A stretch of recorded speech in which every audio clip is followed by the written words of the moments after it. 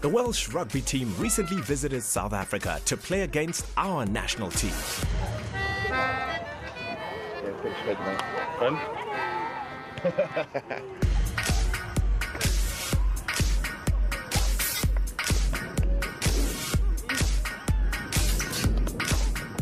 How are you? I'm good. What are you guys doing here? We're training the kids for the future. For tomorrow? You mean the kids? Yes. We're just training and transferring skills to the kids, helping to develop them. They're training our future rugby players.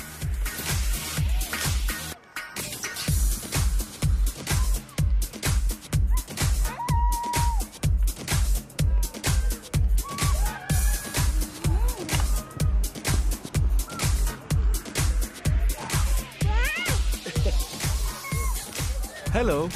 Hello. Share your impressions of South Africa. Beautiful country. Absolutely beautiful country. The people I've met have been fabulous. The food is brilliant. Food is outstanding. And, uh, and a very, very warm welcome. And today, this is the highlight of the tour so far, meeting these children and the future generations of deaf rugby internationals.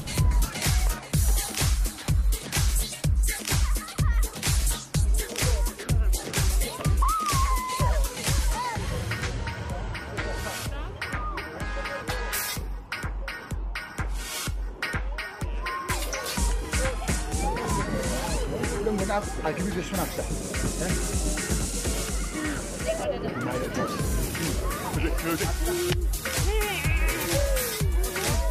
Gonna get it.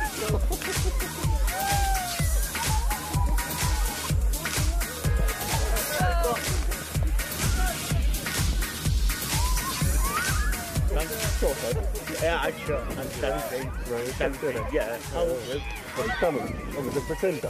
Ja. Van de camera.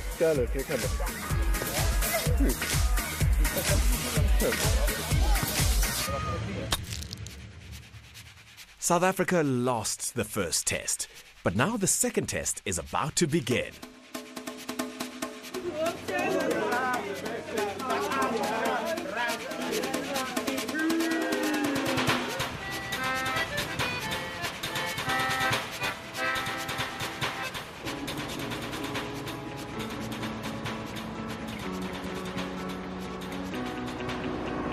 Hi. Why is SADRU proud to host this tour? We as the South African Deaf Rugby Union are extremely proud to have reached this point in our history after an eight-year journey to be able to compete in our very first ever Deaf Rugby International and to do so against the world champions, Wales. Wales is a phenomenal team, a great team. They are world champions for a reason. They're a settled outfit. They've been playing together for many, many years. They're very, very experienced. So we are aware that this is a mighty challenge for our team. But what an honor for ourselves and also for our country.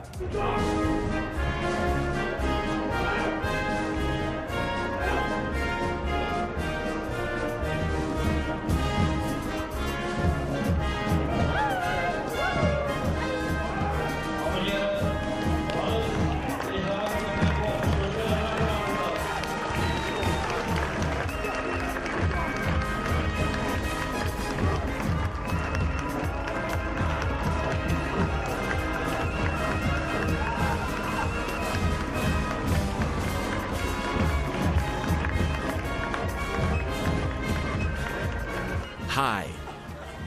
Môre. How do you rate the Welsh team?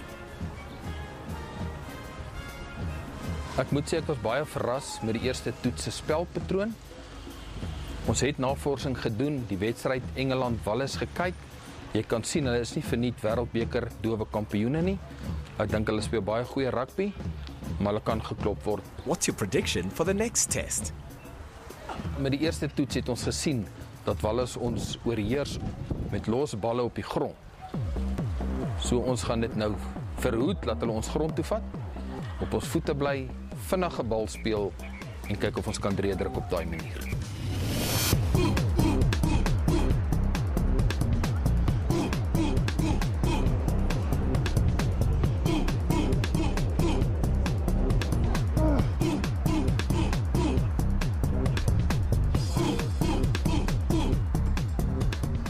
Feel about the outcome of the first test? Very, uh, very pleasing, very pleasing to come this far and to get the win is a, is a massive thing for us. Uh, we've been pre preparing for months now. Um, um, we knew it was going to be a tough challenge, but I thought we rose to the occasion and uh, we got what we wanted.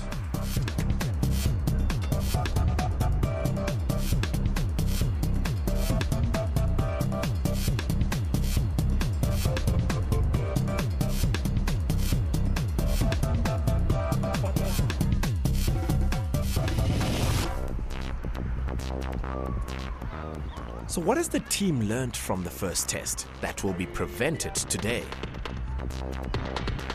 We looked at our weaknesses from the previous test and how we made mistakes. We kept that in mind when we came up with our new game strategy. In the next test, we will know what to do.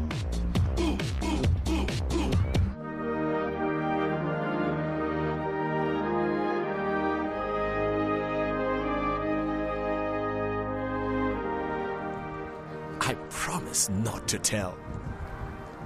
What is your game plan? Uh, one of our main things we, I wouldn't say failed on, but we need improvement, was our kickoffs. Uh, I mean, I dropped two balls, three balls, but everyone makes mistakes. But we have, we're going to work on that this afternoon, and we've discussed it um, from our analysis session. So I think we're just going to try and spread it wide, change the game for what it was, because we, used, we were very forward, forward dominated. But we want to get the backs involved because they have all the skill and the ability, and try and in- interlink both forwards and backs.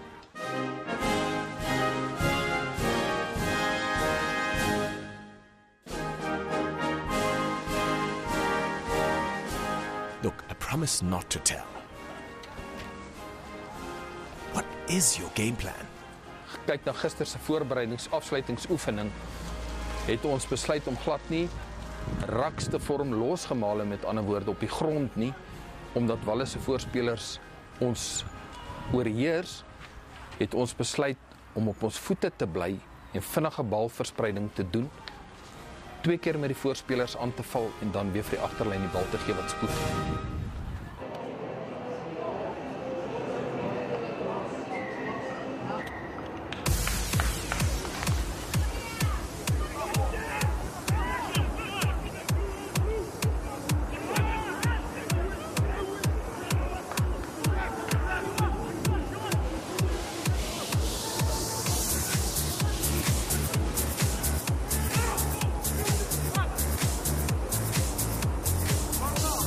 die Suid-Afrikaanse span se sterk punte lê in ons tempo rugby wat ons speel. Ons hou daarvan om die bal lewendig te hou, die bal te versprei en met die agterlyn drie te druk.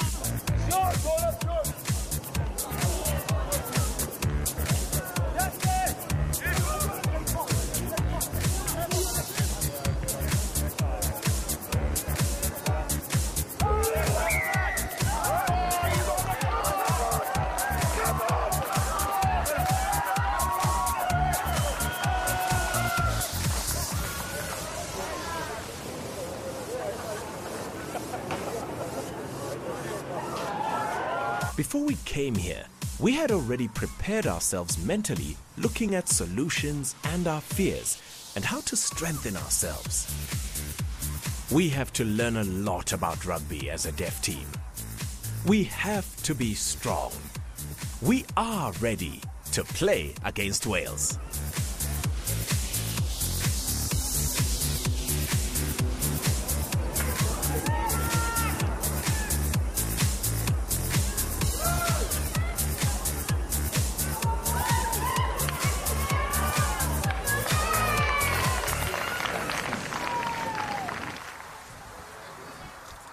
What do you think of the South African team? And do you think they're formidable? I was impressed with their fitness. I was impressed with their handling ability. There is obviously things to work on, but that's in time. I mean, we've been together. Well, we've been going for about 14 years. I think I can't remember to be honest. But um, we've got experience. We've played together for a long time, and for them to put up a good a game like that, uh, it was great. Fantastic.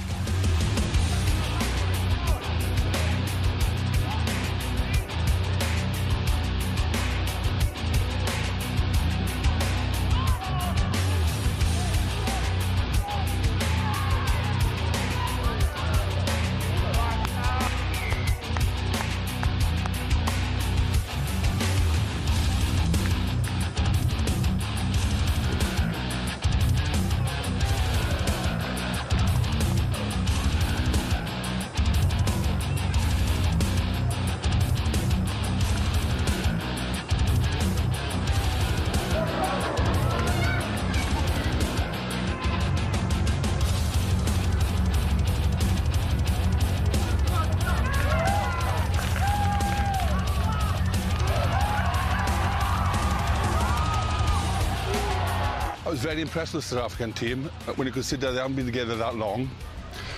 They they never give up. They, they've got a good level of fitness and a good level of uh, dog dog where they they they always competed. Even even with the score line was quite big, they competed from the from the first whistle to, to, to the last whistle. So very good team, very good team.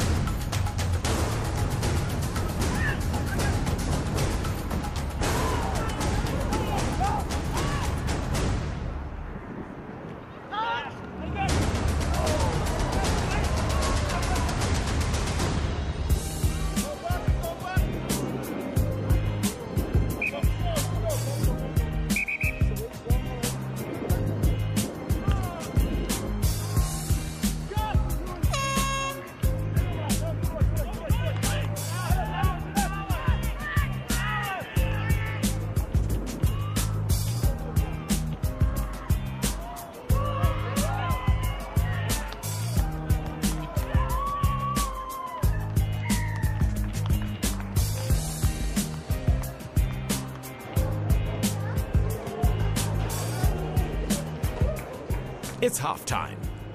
Wales 36, South Africa 3. Let's hope we score in the second half. Unless we develop the talent pool in the, in the various provinces and also start a Deaf Currie Cup, which we want to do next year, we are not going to be able to sustain this growth that we've had over the past year. But obviously, if we are going to compete at the international standard and beat a team as good and big and strong as the Welsh team are, we are going to need a lot of extra financial and logistical support.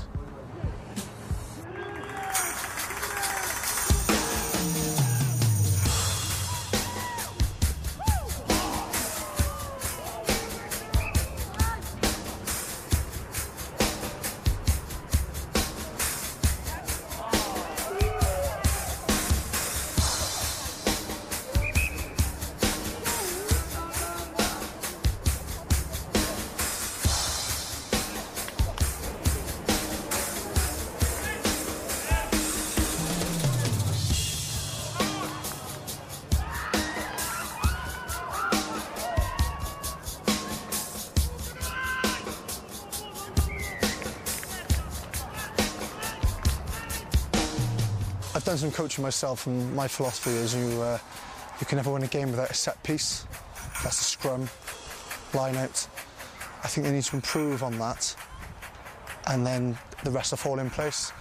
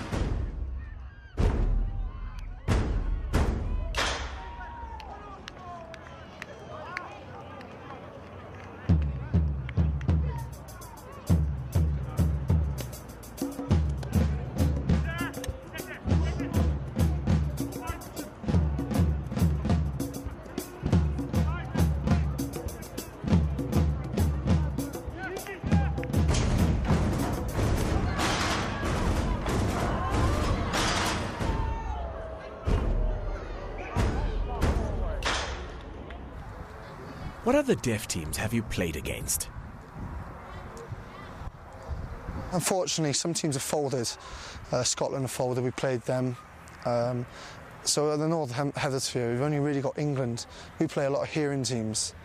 Um, quite good standard. Uh, we, some, we sometimes lose, we sometimes win, but it's a great challenge for us. We just want to be able to compete with anyone to show that hearing, you know, there's no barriers, as we say. There's no barriers because it is, you know, being being hard of hearing is hard. It's not, it's not easy at all. Why is deaf rugby diminishing worldwide? some governing bodies just are not interested in helping disability sports, maybe through funding, or there's not enough interest, or it is disappointing. And some people, like say, some people see it as a gimmick, but I assure you, it's not. It's fantastic. You know, to play for your country, whether you're deaf, disabled, anything. It's just, yeah, it's a fantastic honour.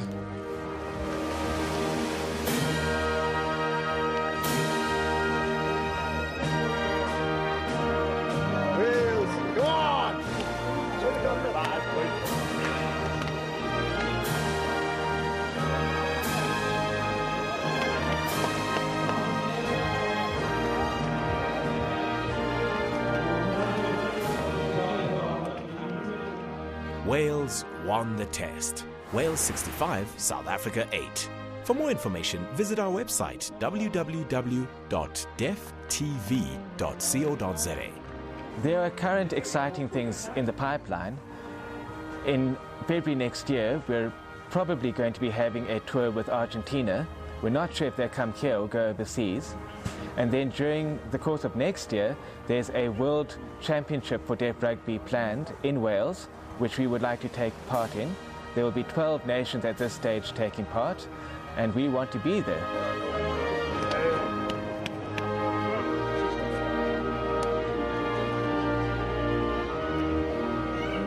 I would love to come to South Africa again. I mean, it's a surreal place. Uh, I've never experienced anything quite like it. Um, but it's also quite humbling as well. I'd probably like to come with my girlfriend, to be fair. I mean, I don't think she's ever fancied it, but I can, I'm, I'll definitely be changing her mind. I'd maybe try Cape Town and go to Kruger Park. I'd like to go there um, and just experience a bit more of it rather than just Pretoria.